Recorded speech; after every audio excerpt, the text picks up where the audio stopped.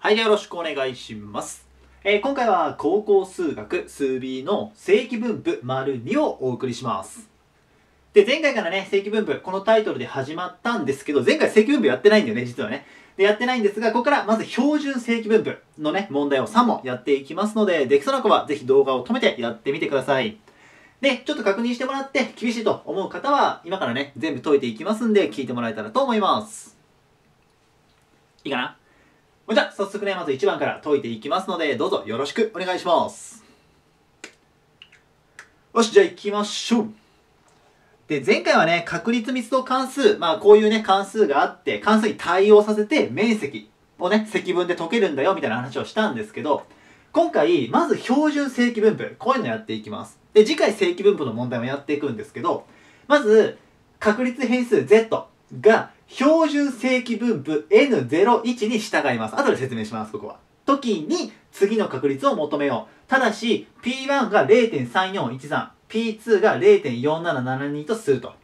で、ここに関してなんですけど、これ、普通の問題、まあ、多分テストとかでもそうかもしれないんですが、えー正規分布表っていう表があるんです、本当は。でね、今ね、ちょっとこっちに焦点合わせちゃってるんで、見せてもね、焦点合わないんですけど、まあ、例えばこういう感じの、こっちね、これこれ。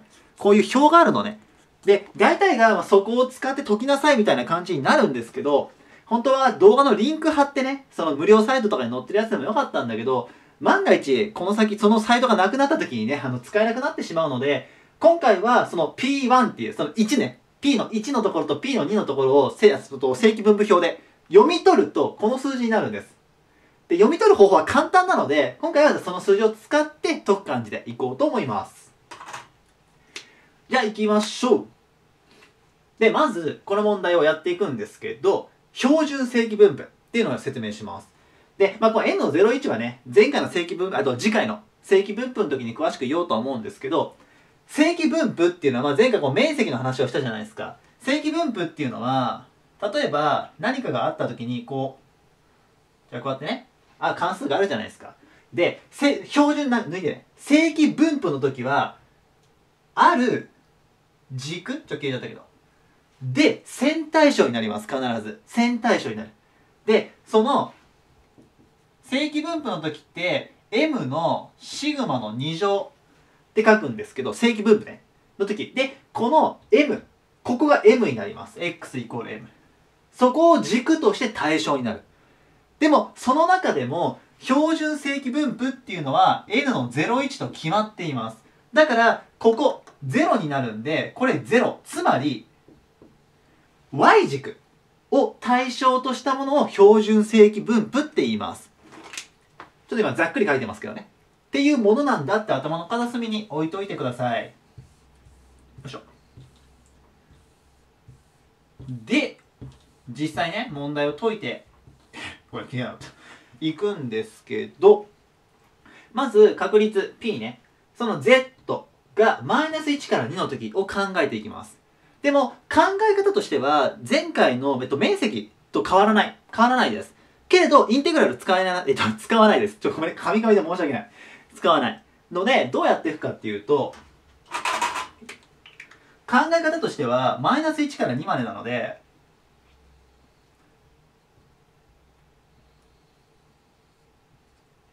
まあちょっとざっくりでいくよ。まあこういう関数になってるとしてください。今ざっくり書いてますけど。で、マイナス1から2までだから、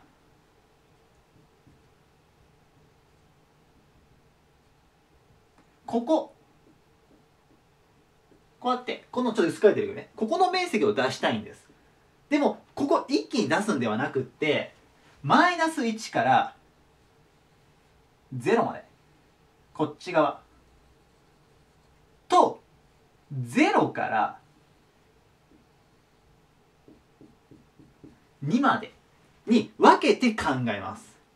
で、ちゃんと書くとするんだったら、今ね、p の、えっとマイナス1、z がマイナス1から2まで、これを求めたいと、確率をね。そしたら、まずマイナス、えっと、0で、ここで切りたいんで、p のマイナス1、z がね、から0まで、プラス、えっ、と、0から2までってまず分けるじゃないですか。でちゃんと書くんだったらこれね左右対称になってるのでマイナス1から0までの面積とここに例えば1取るじゃないですか。0から1までの面積って当然同じだよね。左右対称だから。だから P のこのマイナス1から0までの面積の部分を考えたときに0から1までの面積も同じだよねってよいしょこう考えられるんです。でこの正規分布表さっき表見せましたけど0から1までっていうのは P1 のこと。正規分布表のに使う P1 と同じになります。0から1になってるから。で0から2までっていうのが正規分布表の、えーと、2のところの値を使っていいんです。0から1までです0からが大事ね。でこう持っていけるので、えー、下配慮ね。ちょっとこっち持っていくよ。P1、えーと、0.3413 13プラス、えー、P2 が0.4772となるのであと足して、えー、0. これ繰り上がりがあれちょっと待ってね。こっちからいこうか。581.0.8185合っていいかな？そうだね。これで OK いった感じになりますちょっとここで一回焦点合わせようかちょっとごめんねというふうにやってみてください。まあ、このね、えっと、面積の形を頭の中で描けると、こっちとかのミスが減ります、非常に。ちょっとこっちは特殊になりますけど、一瞬ね。一瞬？ちょっとね。では、2番いきましょう。まあ、1番書き忘れたね。2番。で、2番はですね、1から2までになります。で、これも1から2までなんで、さっきとすごく似てるんですけど、これも一応書いてみようか。えっ、ー、と、ちょっとこっちに寄りますよ。まあ、こういうふうに考えたときに、1から2までなので、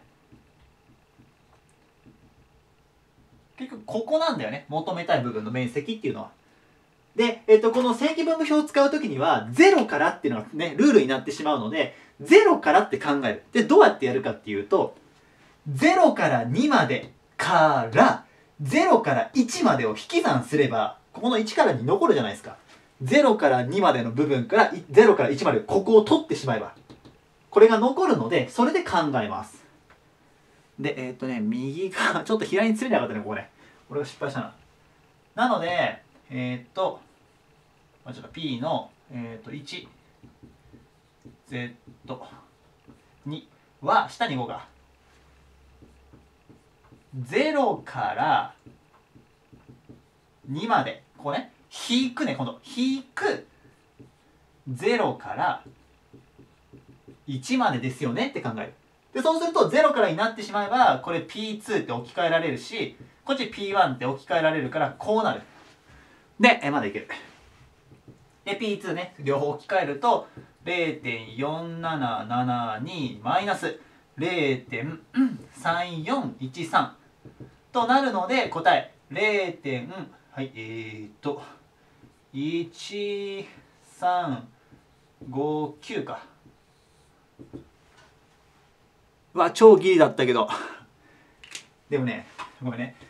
ちょっとね こだわりこだわりないんだけどもうちょっと上にかけようった0.1359だったかな？この辺に線だったらギリ入ってるはず OK ね。っていう感じで解いてみてください。まあ面積勝負ですね、本当にね。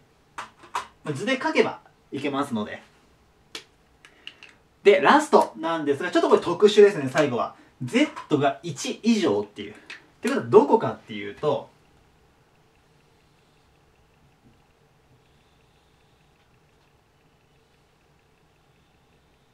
まあこんなんなってちょっとね、こっちで切っちゃってんで変な感じがしますけど。1があったら1以上なんでこっち側も全部ですね。右側全部っていう。さあこれどうするってなった時にこれこっち半分とか、まあ、こっちでも使えますけどこっち半分全部とかは0.5を使うんです。これ覚えてください。こっち全部みたいな。はいこれはここはね俺がここで切りやがった。よいしょ。